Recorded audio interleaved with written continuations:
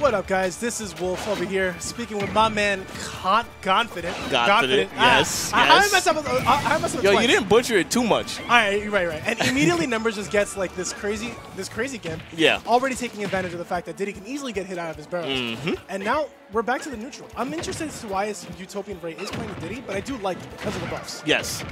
So uh, I guess the buffs made Diddy viable. We haven't seen any Diddy's really play at a high level just yet.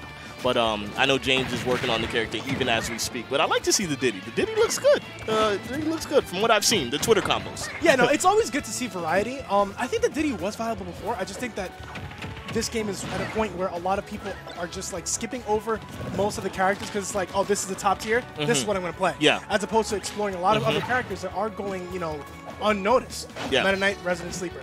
Anyway, but we see numbers here with only at 124%. percent Mm-hmm. Not going to die just yet. Has to assume control of the neutral at this point. And you know, with Diddy's banana and pop gun, it's like how how how's never going to. Oh, well, How's he going to reset the neutral? And that's the thing. If uh, Utopian Ray can take this stock now, this isn't a bad game for him. Although he got gimped extremely early. Don't get him.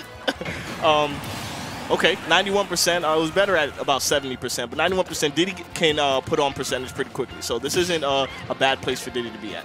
I know, I mean, in this game, I feel like he still kind of has like the same game plan, right? Uh-huh. You know, rack up percent by uh, getting combos left and right up until he gets you to his kill percent where he can get his B and B his B and B kill center. So Mm-hmm. I'm not sure if they're still the same. I'm not sure if he still has down tilt stuff, but Ray definitely needs to find a way to kind of just put the pressure on numbers because he's giving a little he's giving him a lot of space to move at the moment. Now you see the uh, the down tilt stuff that Diddy had in Smash 4. I, I have seen them on Twitter. I have seen different combos here and there. Uh, it just doesn't look as easy as it was in Smash 4. So it, it looks like DI is or Smash DI is definitely more of a factor when it comes to uh, the down tilt combos and, and whatnot. But I have seen some shenanigans with like falling nair. I've seen like falling nair to a dunk, to like back air, to like different things. Like uh, Diddy does have some tools. Yeah, no, and this is this is this is where Utopian Ray really needs. Oh wow, wow! All right, well, Okay. this is where he really needs to start showing them because, like you said, at 70%, if he would have took the stock, that would have been good. But he did take out a little bit too too much damage. Yeah. So now Utopian Ray has to find a way to just make this back. He has to pressure John numbers and stop giving him a lot of a lot of space because Yeah. numbers is kind of just playing around him and spacing him out with back airs and kind of just making Ray play his game, Mm-hmm. which I believe that Ray is kind of he isn't used to that because he's the type of player to when you play Ray, you, you play his game. Yeah, know, like, like- definitely. Like, you un, unknowingly, you're like, wait, wait, wait, I'm doing exactly what he wants me to do. And he's that type, he's that good of a player. Yep. You know? And I think that he's unfamiliar with this one. Uh, I feel like Ray has a uh, does a really good job of controlling the pace of a match. Like if, if if it's going too fast, he has no problem slowing it down, no matter what character you're playing, no matter how rushed down you are. So um, I feel like that's what he has to do uh, against John right now. Because Yeah. although Inklings is a, a, a rush down character, if you let Inkling set up, that's when Inkling is, is in their prime. Like you let them set up the bombs, you let them set up where they want to be, like down smash and all that. Like you're, you're in a bad place.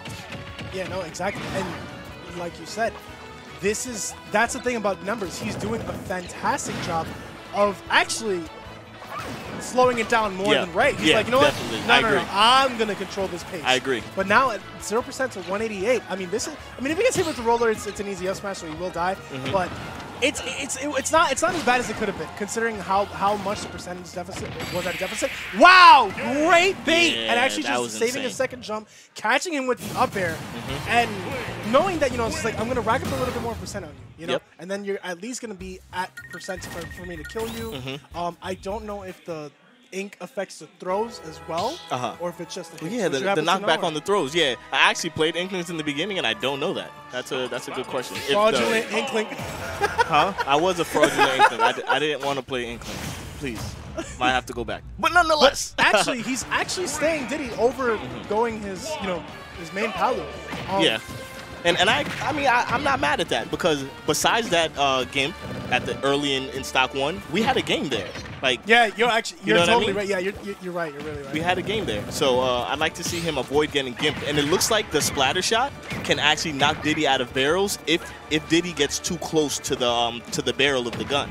It doesn't seem like it'll knock him out from from oh! from a distance. And just like that, my man Utopian Ray letting us know, listen, game one, I was just collecting some data. Let me show you guys what this Diddy could really do. And that was nice. up. Dunk on him real quick. Basically, man, he's like, all right, all right we're, we're, we're about to play some ball, some mm-hmm. jail ball, some jail ball. y'all, don't know about jail ball. Ooh, Ooh, almost. and not tho- making it. that's that buff. Like Diddy does not have to charge barrels too much to get a lot of height on it. Yeah, and that was actually that was actually a pretty pretty cool pretty cool buff because Yeah. He did take a lot of time charging barrels. Mm-hmm. But numbers over here, I mean, I think that numbers is a cool and calculated player enough, enough to the point where I think both of these players are trying to find out how to how to control the match in their pace. Uh-huh. And this is when Utopian Ray realized I need to adapt my style. Yeah. I can't play slow just like I do with you know like like, like others. Like Yeah. I have to kill him like right here, right now. Mm -hmm. I agree, and you can see he completely Oh, he adapted this game. He did. Yeah.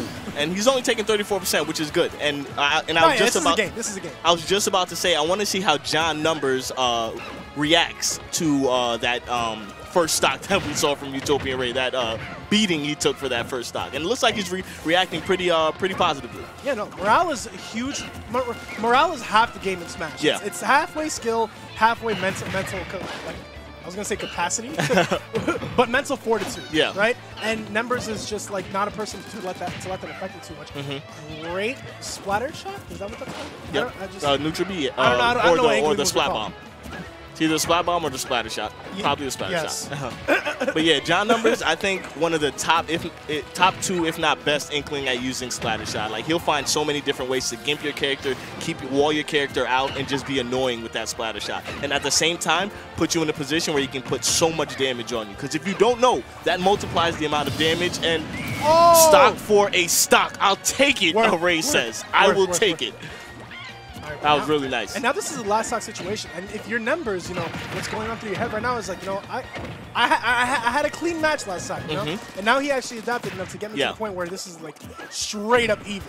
Mm-hmm. So it's he has to figure out what to, what to, what to, what to do at this point. You know, Mm-hmm. it's like, all right, who is going to be able to get to, to get their opponent to play their game? Yeah. Notice the spacing that numbers is doing, uh, taking rather.